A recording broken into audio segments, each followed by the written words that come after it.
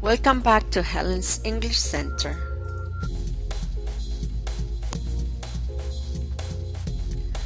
For dog lovers just like me, here's an interesting article about the benefits of having a pet. Enjoy.